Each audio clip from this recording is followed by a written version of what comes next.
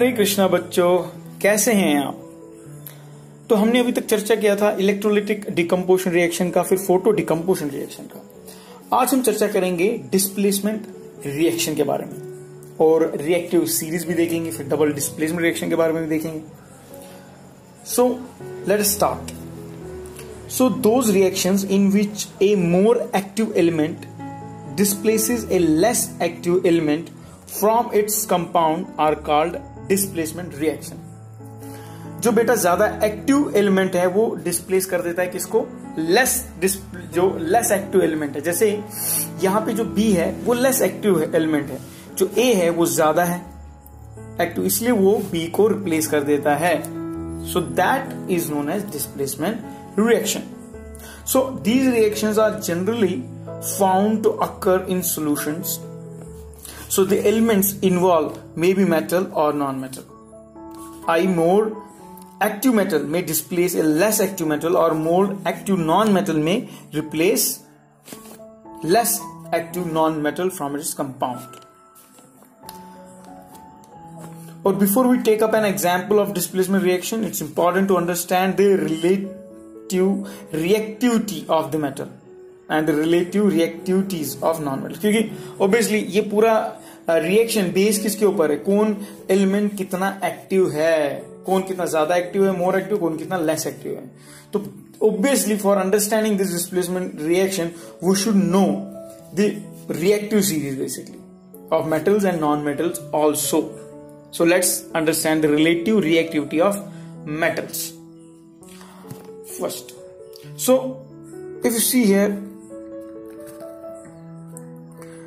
the, rea- the relative reactivities of metal series or the active series metals we know that different metal possess different rea- reactivities some metal are highly reactive कुछ metal बहुत highly reactive होते हैं some metals are highly reactive whereas some metals are less reactive so based on the study of these reactions the metals have been arranged in the following so ये उसी के base पे arrange किया गया है सो reactivity decrease हो रही है जब हम नीचे जा रहे हैं। और सबसे ज़्यादा रिएक्टिव ऊपर वाले एलिमेंट होंगे। This is how the series is going मतलब अगर आप यहाँ देख रहे हैं potassium potassium is the most reactive उसके बाद अगर है, फिर सोडियम है। वैसे ही it list goes on so basically the arrangement this arrangement of metals in a vertical column in order of their decreasing reactivity from top to bottom is called reactive series or active series of metals. So this is the definition. The arrangement of metals in a vertical column. एक vertical column के इसको हम represent करते हैं in order of their decreasing reactivity मतलब सबसे ज़्यादा reactive ऊपर है और सबसे लेस रिएक्टिव है वो नीचे है इसको क्या बोलते हैं बेटा रिएक्टिव सीरीज़ और active series of metals. Thus, more active metals lie above, whereas less reactive metal lies the below series. So, potassium, यहाँ पे पोटेशियम का एग्ज़ाम्पल लिया गया potassium lies at the top is the most reactive metal where as the platinum is lying at the bottom वो नीचे है mercury silver उसके नीचे जाता है platinum so that means it's the least reactive thus any L metal can displace the metal thus any metal can displace the metal lying below it. मतलब इसके नीचे। पोटेशियम मतलब किसी को भी यहाँ रिप्लेस कर सकता है। आप समझे? सोडियम इसके नीचे किसी को भी रिप्लेस कर सकता है, लेकिन पोटेशियम को रिप्लेस नहीं कर सकता है। क्योंकि पोटेशियम ज़्यादा रिएक्टिव है। कैल्शियम अपने से नीचे किसी को भी रिप्लेस कर सकता है। Are you getting this is the point zinc अपने से नीचे किसी को भी रिप्लेस कर सकता है। उसके ऊपर नहीं कर सकता, क्योंकि वो ज़्यादा रिएक्टिव है। वो उसको रिप्लेस करेंगे। So this is what it means. so thus any uh, metal can displace the metal lying below its from its salt solution. तो इसलिए अगर आप देखेंगे जो डिफिनेशन था वहाँ पे क्या लिखा था? The reaction are generally found occur in the solution में होती है reaction and then to further understand it thus any metal can displace the metal lying below it from it salt solution So, it is important to note that the hydrogen, though non-metal, is included in the series because, like metal, hydrogen can lose electron from to form positive ion as positive. so as metal lying above hydrogen are more reactive they can displace hydrogen from acid or water so, यहाँ पे देखिए all दो non metal में फिर भी इसको इस series में ऐड किया गया because he can lose its one electron so I so they can react with an acid to give out hydrogen gas. On other hand uh, metals lying below hydrogen in this series being less reactive than hydrogen can displace hydrogen from the acid. They do not react with the acids to give out hydrogen gas.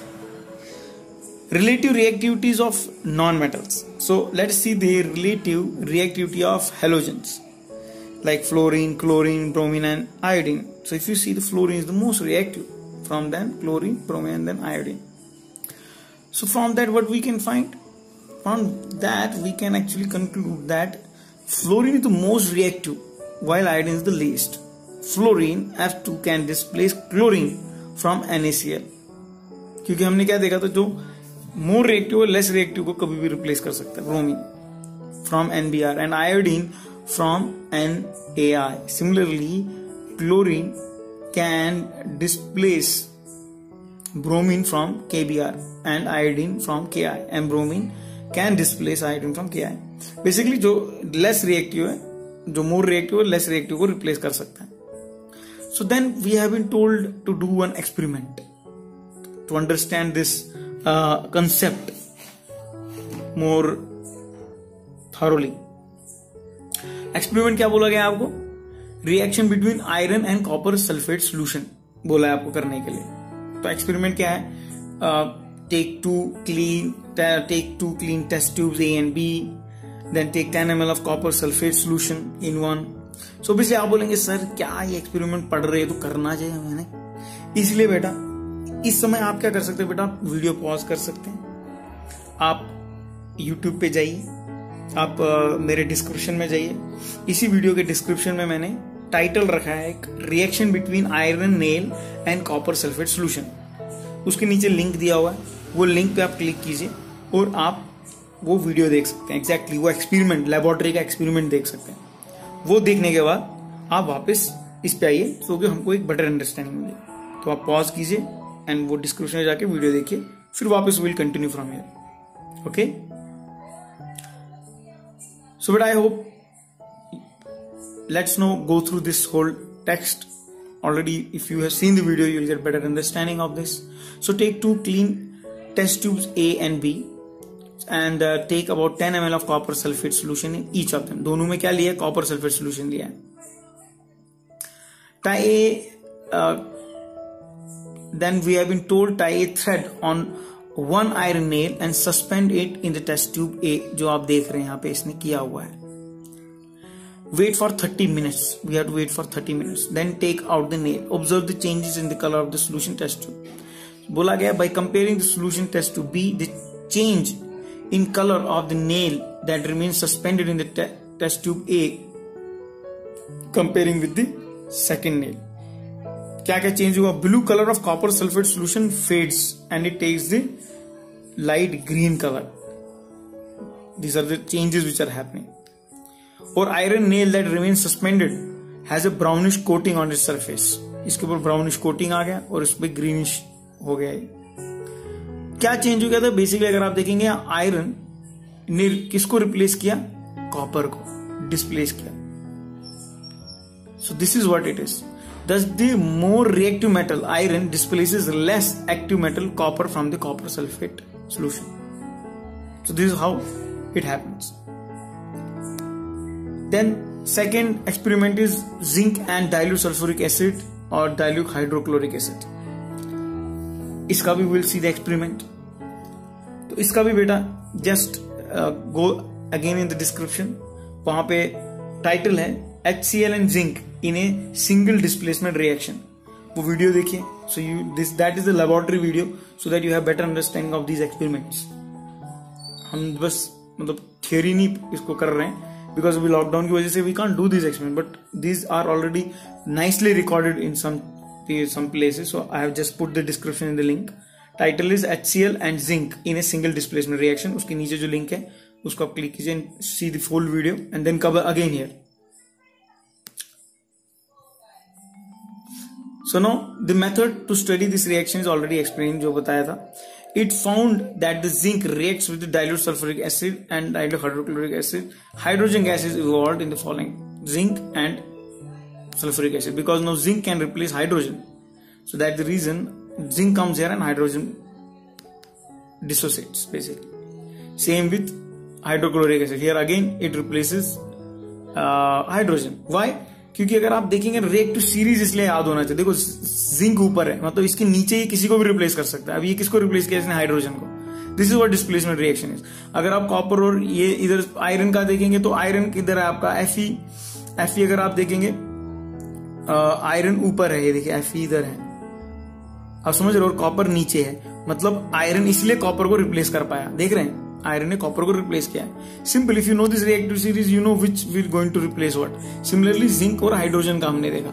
यहाँ पे zinc था hydrogen उसके नीचे, इसलिए zinc के नीचे जितने भी हैं, ये किसी को, हर एक को रिप्लेस कर सकता है रिएक्शन में। So this is all about the reactivity कुछ और अगर हम डिस्प्लेसमेंट रिएक्शन देखेंगे zinc and copper sulphate solution तो सेम थिंग है, आपको वापस रिएक्टिव सीरीज़ में जाना है। जिंक किधर है और कॉपर किधर है? मतलब ये इसको रिप्लेस कर सकता है जिंक कॉपर को। So this is how the reaction takes place then यहाँ पे एक और है if copper is added to zinc sulphate solution यहाँ पे हमने क्या किया जिंक ऐड किया कॉपर सल्फेट सोल्यूशन में। ये बोल रहा है, अगर आप जिंक सल्फेट सोल्यूशन में कॉपर ऐड करेंगे, कोई रिएक्शन नहीं होगा। क्यों नहीं रिएक्शन होगा?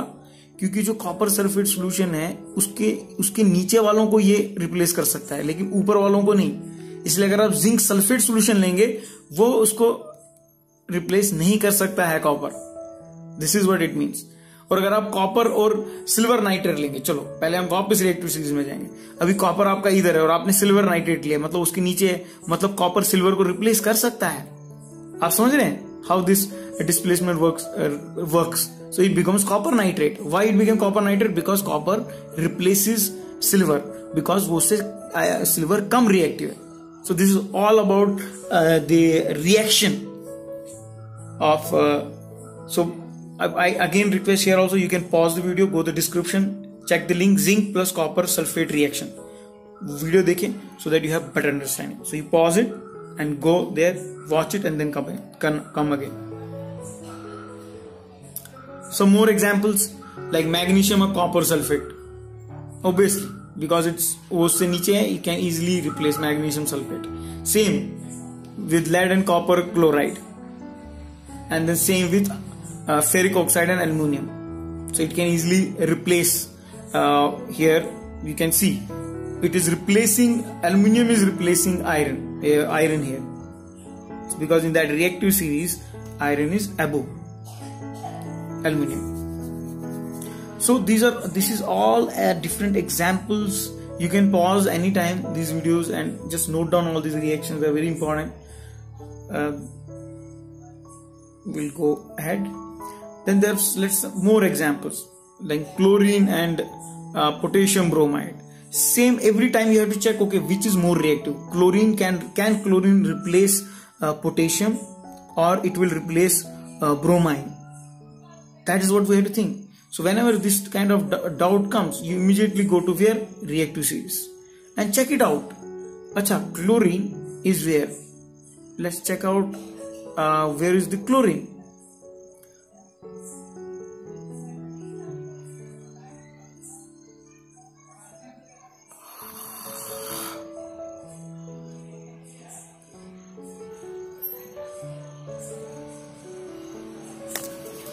So now let us check it the reactive series of chlorine. So if you see chlorine and uh, here is iodine. So chlorine can replace iodine because uh, iodine is less reactive. Or from it can replace bromine because it is less reactive.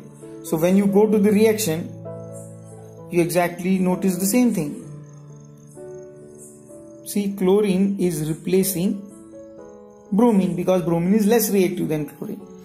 This and this is non-metal basically. Examples from non-metal. Similarly, chlorine and potassium iodide. So basically, chlorine will replace iodine because it's less reactive. So this is all displacement reactions which depend on the reactivity series. लेकिन यहाँ पे अगर आप देखेंगे एक ही element replace हो रहा है you know chlorine is replacing this from this compound one compound but there is something more to concept which is known as double displacement reaction so these reactions in which two different atoms or group of atoms are exchanged is called uh, double displacement जैसे यहां पर देख रहे हैं ए सी की जगह जा रहा है और सी ए की जगह आ रहा है you know double displacement reaction are taking place So these reactions generally occur between two ionic compounds in the solution. Hence, they may be defined as follows. So those reactions in which two ionic compound is solution reacts by exchange of their ions to form new compound is called double displacement reaction.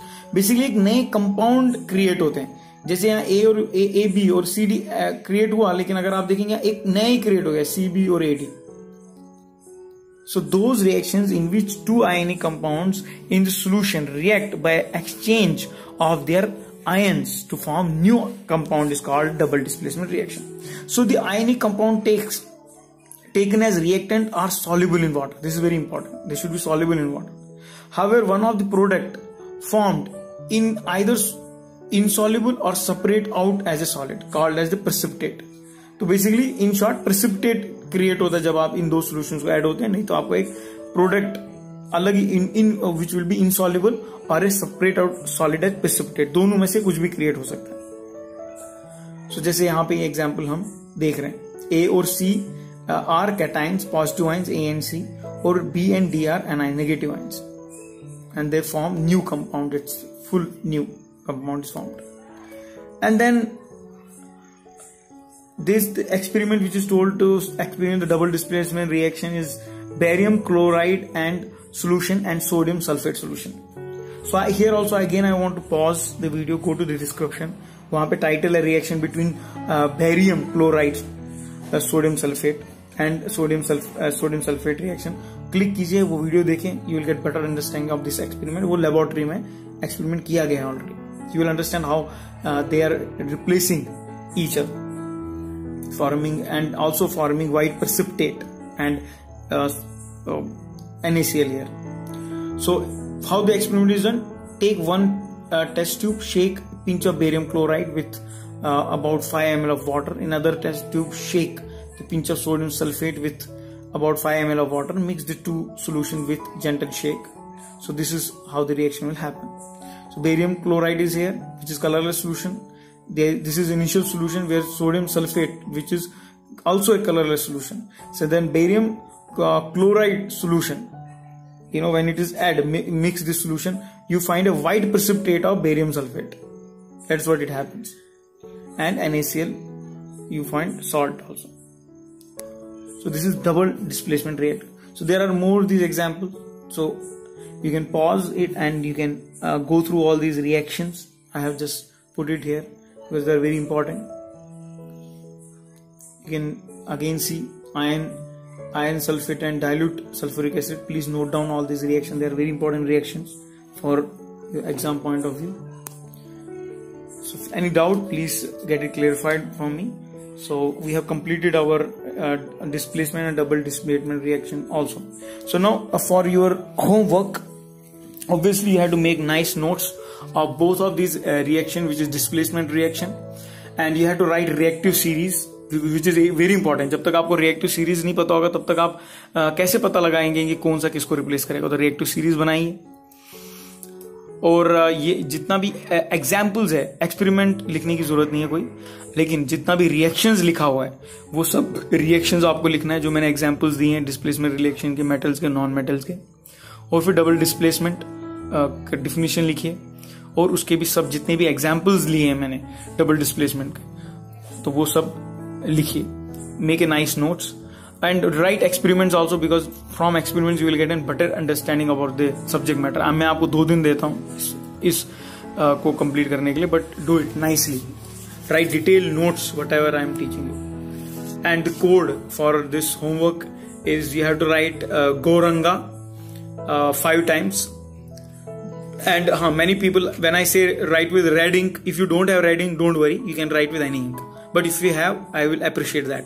So this goranga which i am telling you write five times you have to write it five times with black pen. So wish you all the best. Uh, see you again in the next video.